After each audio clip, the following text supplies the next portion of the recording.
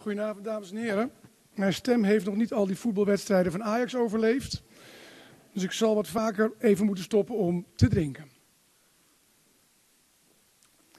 Dames en heren, elk jaar, Natasja zei het al, maken we met elkaar de staat van de stad op. De stad Amsterdam.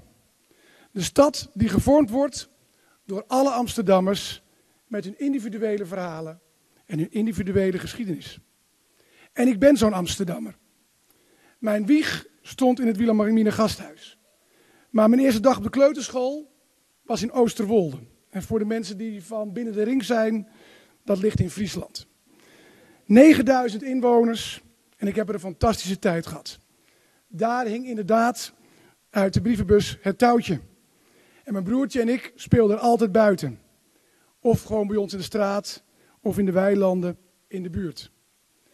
Maar als ik terugkijk op die tijd, was Oosterwolde in een bepaald opzicht ook een gesloten wereld. We hadden in het dorp een aparte wijk. De Molukse wijk. Die lag achter mijn huis. En in de straten achter ons huis woonden de Molukse kinderen en speelden de Molukse kinderen. En als iemand met een potlood een lijn op de plattegrond van Oosterwolde had getekend, dan had je precies gezien, daar wonen de Nederlanders en daar wonen de Molukkers. En die scheidslijnen liepen niet alleen door heel Oosterwolde, die scheidslijnen zag je in heel Nederland.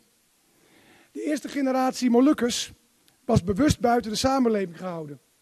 Ze zouden immers teruggaan. En ook de eerste generatie Molukkers vond het eigenlijk ook wel prima, want ze zouden immers teruggaan. De tweede generatie zou later boos worden. Boos op de staat die ze beloofd was, maar niet kwam. Boos op de manier waarop er met de ouders was omgegaan.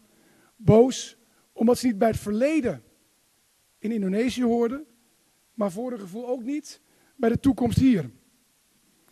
Mijn moeder bleef niet lang in Oosterwolde. Na de scheiding gingen we al snel terug naar Amsterdam. Want daar was werk en daar woonden mijn opa en oma en die konden dan goed oppassen. Ze vond meteen een mooie, ruime, sociale huurwoning in de Bijlmermeer. De hopen zand en klinkers die nou eenmaal horen bij een wijk in aanbouw, waren voor mijn broertje en voor mij een goudmijn, een fantastische speelplaats. We bouwden hutten, zochten schatten en lieten onze hond Bobby uit in de zandvlakte die later de Gaasperdammer weg zou worden. Gaasperdam bestond überhaupt nog helemaal niet daarachter. En de Bijlmer was de enige plek in Amsterdam waar je snel in een sociale huurwoning terechtkomt. Zonder dat je op een wachtlijst hoefde te staan. Dus het waren niet alleen Amsterdammers die er kwamen wonen. Ook mensen van buiten vonden er een basis om van daaruit hun nieuwe leven in Amsterdam op te bouwen. De Bijlmer was voor de eerste bewoners een bouwput vol beloften. Zoals Amsterdam een stad is vol beloften. Een stad die mensen aantrekt als een magneet.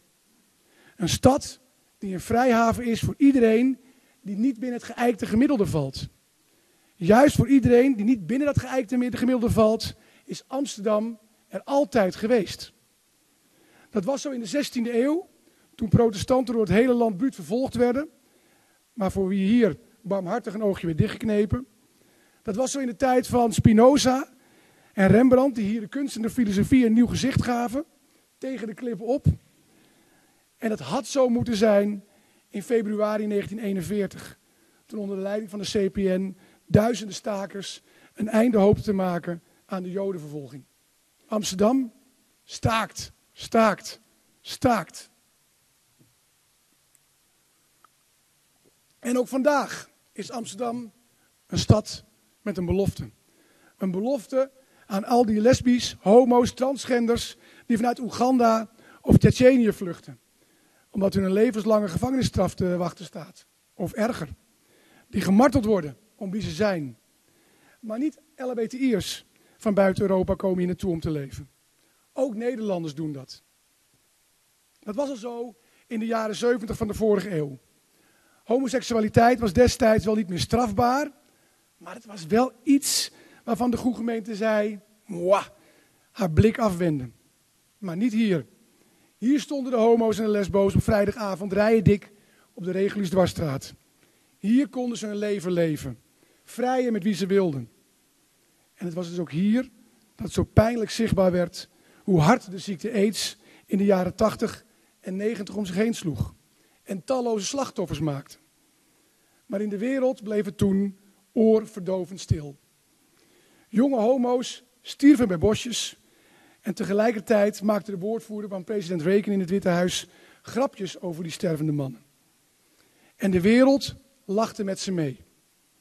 Maar het was hier in deze stad dat wetenschappers en artsen als Sven Danner, Roel Coutinho en Joep Lange de slag, aan de slag gingen om te werken aan een oplossing, een middel, een medicijn. Heldhaftig, barmhartig en vastberaden bleven ze experimenteren. Amsterdam was het epicentrum en het expertisecentrum van het onderzoek naar HIV en AIDS. En het is dankzij het onderzoek van deze mannen dat in 1994 de combinatietherapie beschikbaar kwam.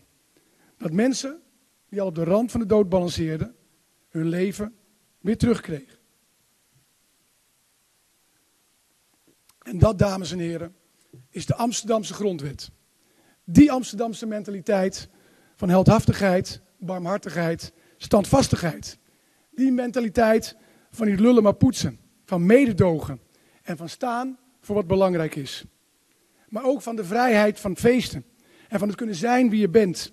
En die werkt als een magneet op studenten, experts of mensen uit Oosterwolde of Nijmegen of waar dan ook. Nieuwe aanwas die hier komt om te wonen, om te werken, om te groeien of om hun kinderen groot te brengen. En ook toeristen weten Amsterdam uitstekend te vinden. Mede ook vanwege het beeld wat ze hebben over onze stad. En we slagen er ook steeds beter in gezinnen in de stad te houden. Groei. We groeien daardoor als kooi, kool. En die groei gaat soms gepaard met groeipijn. Want ook al bouwen we en bebouwen we Centrum Eiland, Zeeburger Eiland, de sluisbuurt over Amstel, Amsterdam begint in zijn jasje te knellen. Binnen de, eh, de, grachten, binnen de stadsgrenzen, binnen het gebied van Amsterdam raakt de bouwgrond op. En of het nou om tram, fiets of autoweg gaat, er staat ook een grote druk op onze infrastructuur. En sommige Amsterdammers vinden de stad zo snel groeien en zo snel veranderen dat ze zich er niet meer thuis voelen. En vanavond gaan we het met elkaar hebben over de vraag of we die groeipijn kunnen stillen. En of we de groei van Amsterdam kunnen blijven stimuleren. Maar er zijn meer vragen. Want op welke bypasses kunnen we de dichtgeslibberde aderen van de stad ontlasten? Hoe kunnen we Amsterdam een thuis laten zijn en blijven voor iedereen die Amsterdammer wil zijn? Moeten we uitwijken naar de ommelanden? Moeten we een nieuwe en grotere ring aanleggen? Zorgen we dat we kunnen blijven bouwen? Zoals Natasja zei, gaan we de hoogte in? Of gaan we gewoon kijken of we ook op een andere manier op sommige punten moeten leven? Steeds meer mensen hebben geen auto, maar delen een auto. Jong hypertentials willen niet altijd een keuken, want ze eten wel van of na kantoor. Of vinden het gewoon gezellig om een appartement te delen. Maar dames en heren, hoe we Amsterdam ook vorm gaan geven, het Amsterdam van mijn jeugd komt niet meer terug. Alhoewel, we er wel met een paar goede keuzes in zijn geslaagd om de bijl maar weer de belofte voor mensen te laten zijn. We moeten slimmer gaan kijken naar ruimte. Want een alternatief is er niet. Tenzij we neven kopen. Mensen gaan buitensluiten. Tenzij we gaan beslissen wie wel en wie geen Amsterdammer mag zijn. Maar naast de vraag over de inrichting van Amsterdam ligt er nog een andere vraag.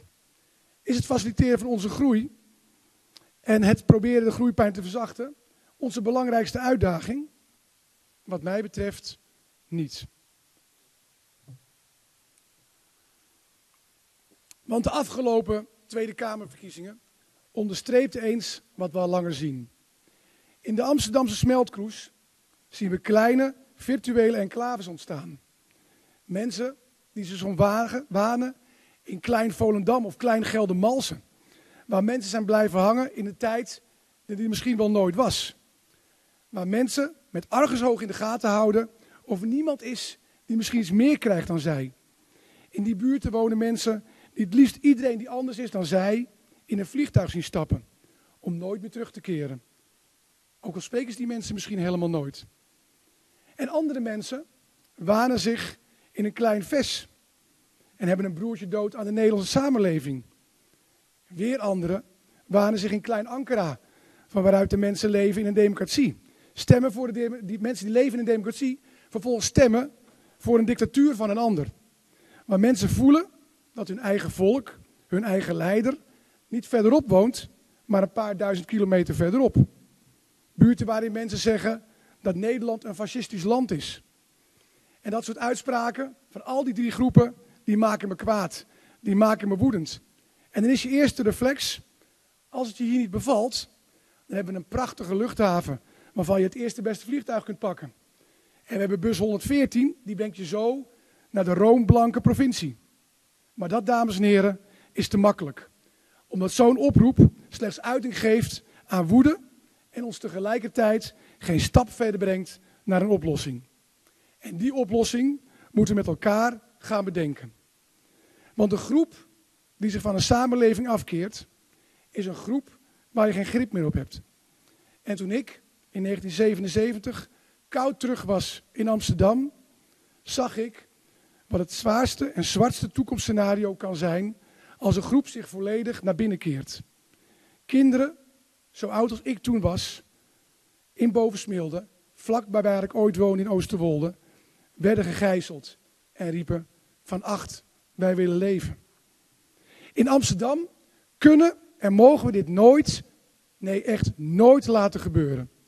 Want het zijn de mensen met de drie Andreaskruis op hun hart die de stad hebben gemaakt tot wat hij vandaag is.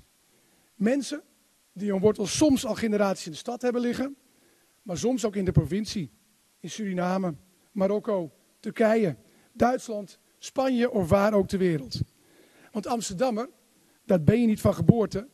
Amsterdammer ben je door je mentaliteit. En dus vind ik dat we met elkaar een oplossing moeten vinden. Voor een groeiende stad. Een stad waar plek is voor iedereen. Maar waarin we vooral zorgen, en samen ook voor zorgen, dat iedereen de Amsterdamse grondwet kent en doorleeft. Want Amsterdammers zijn altijd standvastig, barmhartig en vastberaden. En als we samen willen bedenken hoe we Amsterdam klaarmaken voor de komende eeuw, is het genoeg om alleen de staat van de stad op te Is het niet genoeg om alleen de staat van de stad op te maken? Nee, dan zullen we vooral de staat van de Amsterdammer moeten opmaken. Want onze stad is misschien ooit gebouwd op palen, maar Amsterdam wordt nu gedragen door Amsterdammers. Dank u wel.